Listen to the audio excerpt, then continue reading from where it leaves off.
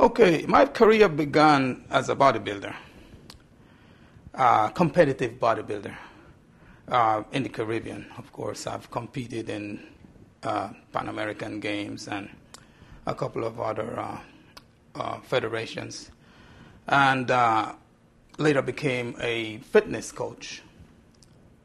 I've been a fitness coach for over 20 years. I've um, coached a few celebrities and helped them to um, sculpt the kind of body they they wanted to project on the screen, and uh,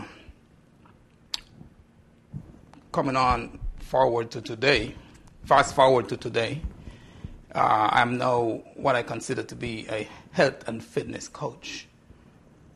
Coaching is a buzzword today. It's, uh, it's, an, it's a refinement of what used to be fitness training. Fitness training creates dependence on a fitness trainer.